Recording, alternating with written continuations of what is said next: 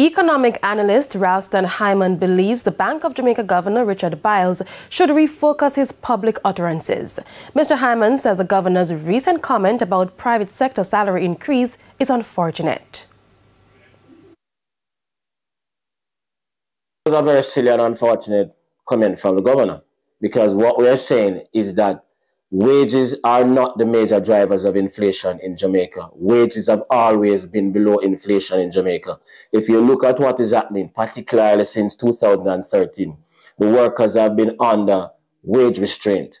So wages, while the private sector, they have been able to increase their profits. So, so prices are increasing and wages are being restrained. It means that the workers are always in an adverse situation. The BOJ governor cautioned against large salary increases, which he says will significantly increase inflation. The governor has faced widespread criticism since. Mr. Hyman says the governor should concentrate on the institutions he supervises. What he should be talking about is how the people that he supervises, the members of the deposit-taking financial sector, how they can operate more efficiently. Look at this example.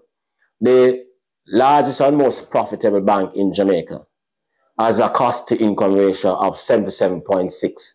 The cost to income ratio measures the efficiency at which a financial institution is being operated. Yet the institution with the highest cost to income ratio makes the more profit. That's not efficiency. Those are the things that he needs to concentrate on. To be giving the impression that he's trying to interfere with a collective bargaining process is not a good sign.